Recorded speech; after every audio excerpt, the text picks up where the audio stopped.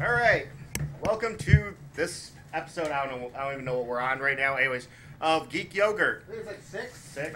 nine. I don't know. Nine? You, you upload them. Nine. Not- We're on nine. We're on nine. Wow. Nine. Nine. Nine. Well, Nine. It's a big one. Nine is actually what a lot of people have been saying. Not me, but a lot of other people have been saying about Age of Ultron. So here's the deal. We're going to be talking about Age of Ultron in this episode, Pretty which we're extensively. splitting into a few parts. We're going to be trying something new. Um, we are going to be as spoiler-tastic as possible. So if you have not seen the movie yet, um, and you want to avoid spoilers, yeah, um, I'd say skip this one till, till you've seen the movie, then come back and listen to us bitch at each other and, you know, the usual bullshit that we do. But you, this is your warning. You have one warning, and this is it. Well, besides the title and the description. Shut up. Yeah. You have one warning from me, Wave. Need, needless to say, you've been warned. The rest, if you find if something gets spoiled, that's on you now. So. Yeah, I don't want to hear no bitching. I So ain't got no welcome to strength. this episode of Geek So, Yogurt yeah. Podcast. Yep, I'm Wave. I'm rah rah. Son. And now, I'm gonna go get my uh, my dinner. I'll Yeah, be right back. yeah. It's in the microwave. Okay, so I guess we'll just get right into it then. Uh, like Wave said, we're trying to keep these a little more concise than normal, so let's get into it. Uh, went and saw the film.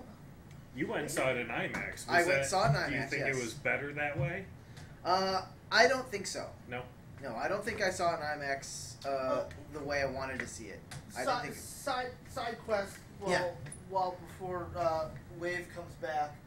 Now that was your kid's first time IMAX Yes. theater. Yes. So were they were they besides movie quality were they blown away by IMAX? Oh yeah, Did they loved like it. They thought it was good. They walked into the theater and like this huge screen was there, And they were like, just like, "Whoa." well, yeah. like when we sent, went to see Interstellar. Like Yeah. I had seen IMAX films before, but that's a big screen. Right when you So- when you first encounter that you know, the size of the screen, you're just you're, you're kind of awestruck from it. So, Yeah.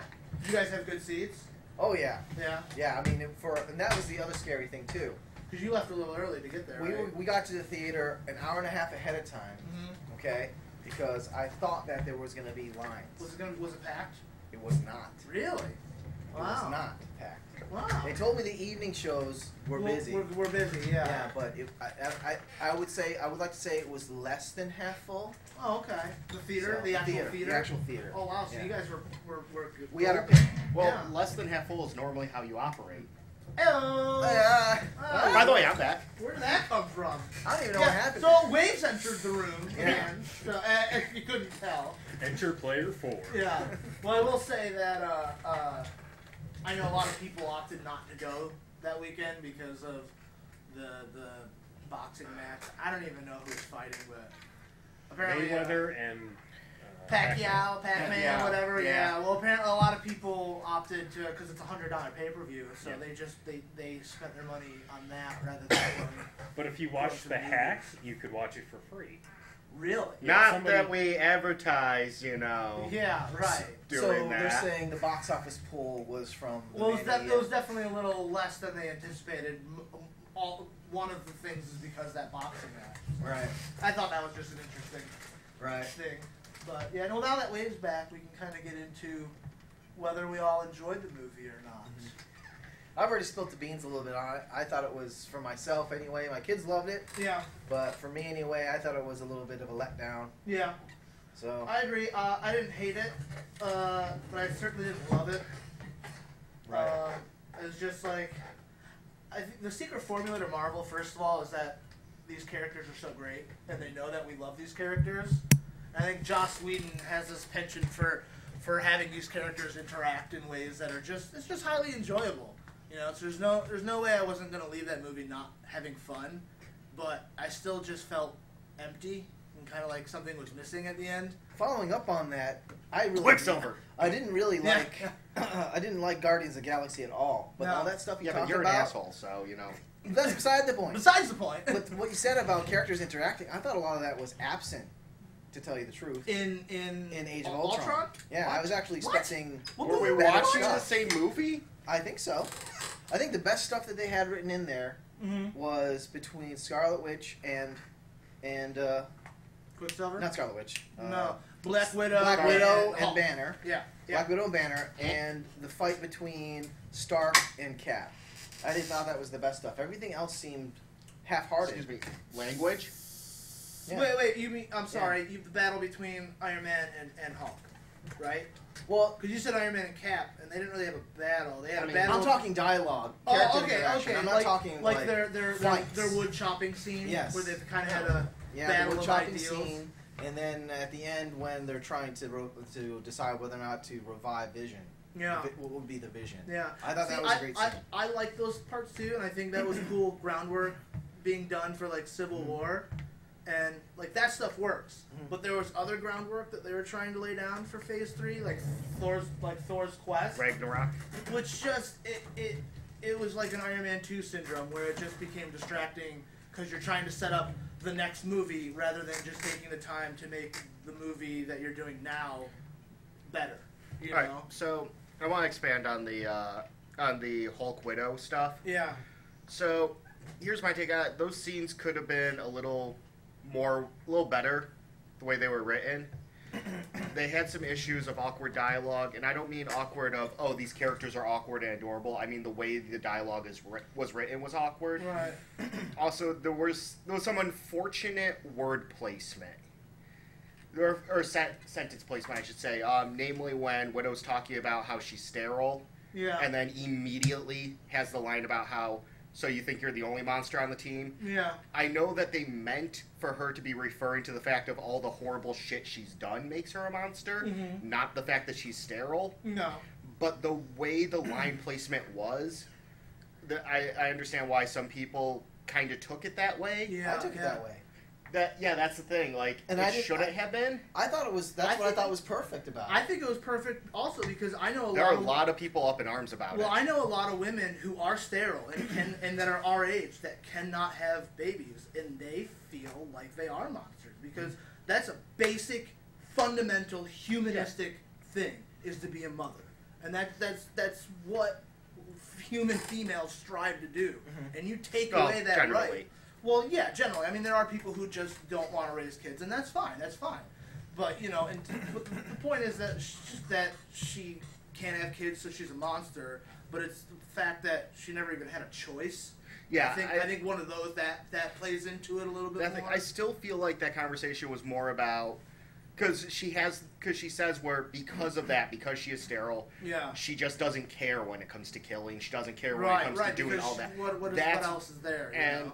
Like I feel that was the intention Mhm. but even the fact that we can have this debate about what that meant yeah, kind of shows that it could have been done clearer it could have been. Yeah, I, Um, I, I, totally- I, totally. I mean, the follow up to that was no. I mean, the the, pre, the pre, the conversation prior to that was Banner can't have a relationship because he can't get physical with anyone. well, that's why I think these I mean- two are perfect for each other. But I know? think that's why she followed up with, "Well, I can't be really physical in a meaningful way with anyone either." either. oh no yeah. no no That's I, what I, I- think. That- I thought it was really clear. Oh, no, I'm I not- have no ambigu- ambiguity about what they were discussing. I'm at not all. saying that there shouldn't that that was the wrong place for her to mention that she was sterile. Right. All I'm saying is the line about her being sterile immediately followed by the line about her being a monster. Mm-hmm.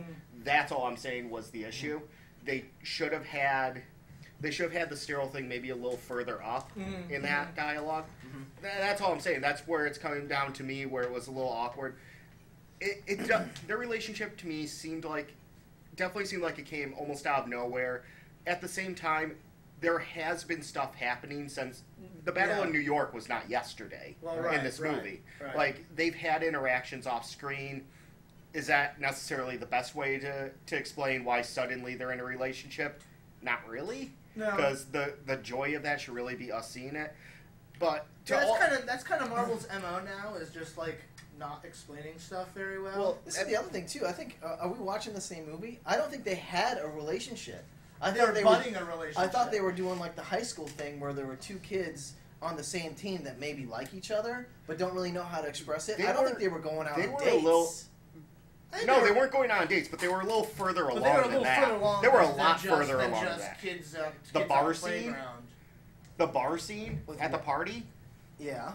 Yeah, their little interaction They're- there. They're definitely That was there's for- definitely flings going on. Yeah. Well, yeah, they're flirting with one another, and and, not, and I mean flirting not in a su- you know superficial way because I think Black Widow was really trying to connect with Banner, Yeah. but that's his that's his moat right there. You know what I like about that is, is this whole dynamic that they did was uh, where they kind of switched uh, having having the, the this is another thing that I like about this. One of the things I like about the movie that I think it did good was it twists conventions a little bit, where they could have easily had the female be uh, you know the love interest or the person who who needs the one being sought who after. needs nat- nurturing and everything. But you know, because it's Joss and he understands that dynamic, where you know he made he made Bruce Banner that kind of that kind of damsel. You know, not necessarily not necessarily Natasha, but Yeah, and then he gets the pissy and Hulk. runs the away. Hulk needed the nurturing at that Right. point. You know, I, I thought that was a cool little twist of, was- of what normally would be done. I also kind of want to say,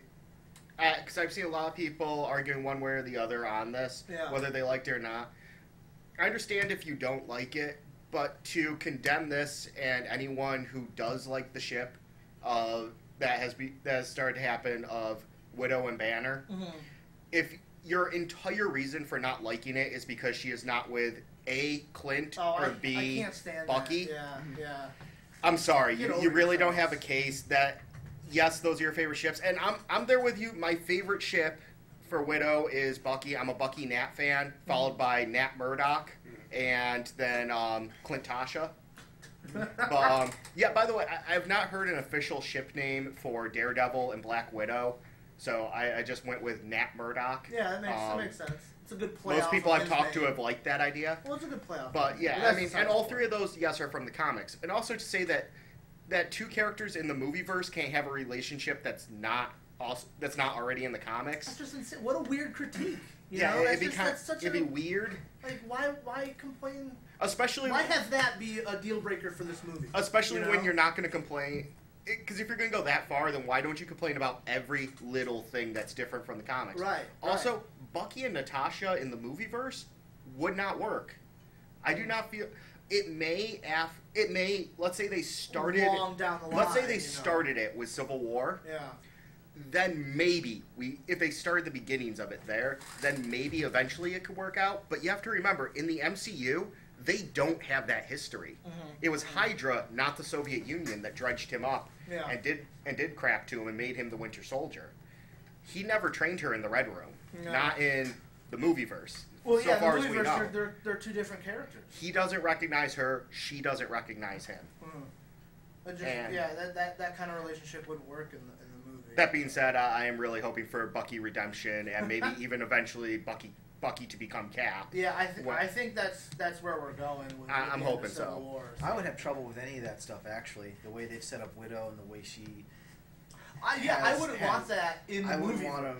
Yeah, I wouldn't want her to be with anybody on the team now, because she's already said that the reason why she's drawn to Banner is because he's not a fighter, and that he's not, in theory, a killer. So why would you go hang out with some dude that kill has been killing people since you know World War II? Well, and, yeah. and, a, and a professional assassin. That would make no fucking sense at all. Oh yeah. Yeah. I mean, I mean, I I would- you could always write it to make sense, but it wouldn't feel right. I would not mind her and Clint. That, as far as the MCU characters go, that would be that would make the most sense. that'd be my preferred. Yeah. Or even if eventually we could get some her and Matt. Mhm. I, I really do But like. even then, I'd still. I like Well, I like um, what they've done with Clint in this and gi- Giving him a giving him a family? family, a secret Yeah. family that he's been keeping down low, and then you know having him kind of retire at the end. I oh, think that was that also was side good. note on this one to everybody who's mad that Clint has a family in here because this means he can't be with Natasha. He definitely does Again, in the Ultimate Seriously, verse, so. he does. In the Ultimate Oh. verse, he does have a family. Uh, so yeah, you know, I don't- except I think he's got like three boys or two boys. Eh, It's- It's not the same. Yeah, but, But either way, there is there. that that source there. And now I do know that originally it was written for Natasha and Clint to become a thing in the movie. Mm-hmm. And they then- kind of like set and, that up in the first Uh, one. Joss, Joss himself actually vetoed it, Yeah. which gets which also gets into a lot of the Joss hate that's been going around. Wow.